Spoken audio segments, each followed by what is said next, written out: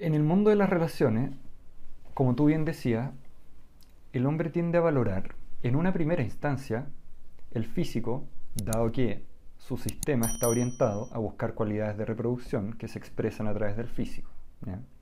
En una segunda instancia, los valores eh, y después, lógicamente, que haya posibilidad de generar un proyecto de vida para los que quieren seguir una relación indefinida, ¿no es cierto? No se ocupa el término casarse ahora porque siento que está más o menos obsoleto, pero entrar en un tipo de relación indefinida.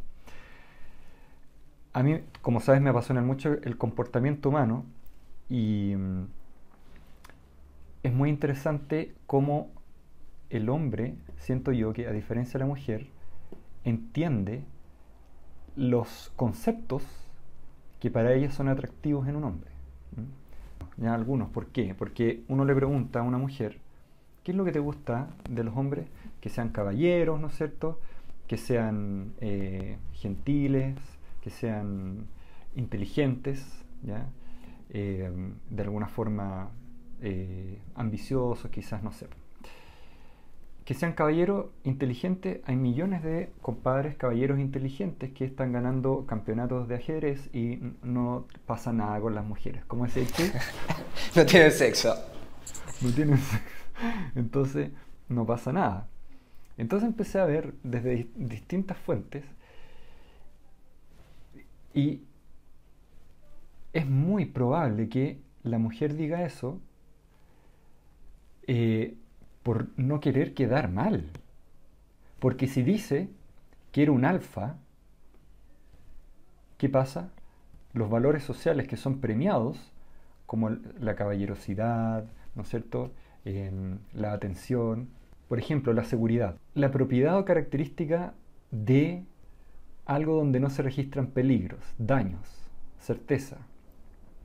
Entonces el hombre llega y la va eh, cuidando, la va poniendo cómoda, eh, entregándole, siendo más complaciente, que esté tranquilita. Y de alguna forma le espanta los nice guy. El bonito. Sí, los chicos buenos, sí, el bonito, el, el buen tipo. O sea, a ver, golpe de realidad. ¿Qué es, lo que, es lo que hacen las mujeres hace varios años? De los 20 a los 30, etapa de promiscuidad, están con el fuckboy, con el bad boy, con el chico malo, se lo cogen bien cogido y después cuando ya se quieren eh, asentar, ahí eligen al chico bueno para formar una familia porque es el boludo que la va a mantener con dos, a la mamá soltera con dos pibes y que se va a casar con ella. Por eso, no, es que es la verdad. Sí, interesante, interesante la mirada. Porque, por ejemplo, ahí yo siento que, a ver, como la mujer por su condición biológica se emociona más, interpreta de forma diferente estos mismos conceptos. Por ejemplo, la seguridad para ella es la sensación de que el hombre sea potencialmente eh, agresivo hacia el entorno para poder perpetuar la especie, mm. lo que queda del hombre en las cavernas. Eso la hace sentir segura en vez de que la tengan comodita, atendida, eh, complaciente. La inteligencia, me seduce la inteligencia.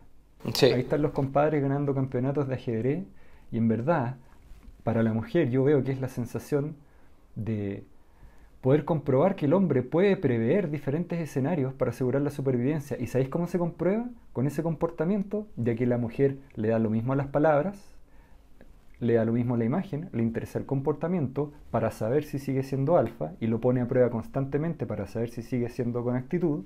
Exacto.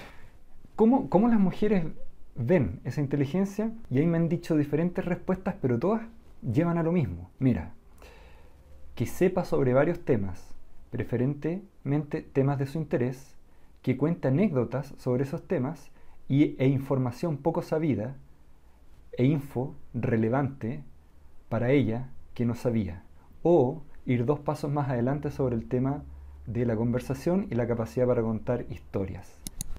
Inteligencia, no sé si eso es inteligencia. Y finalmente ambición es la definición. Quizás la inteligencia sería la capacidad de resolver problemas. Lo podríamos asociar con eso, digamos.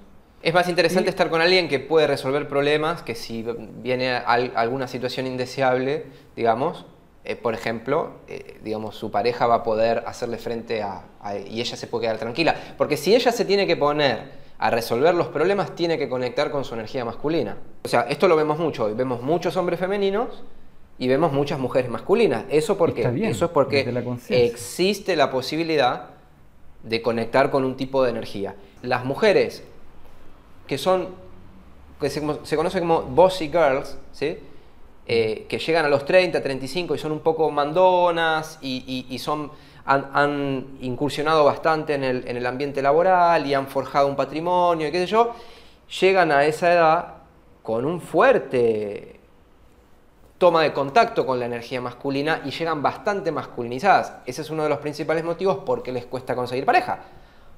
Mm. Por ejemplo, porque tenemos una mujer bastante masculinizada que además le ha, ido bien en la vida, económicamente hablando, y se quiere juntar con un hombre que le haya ido mejor que a ella.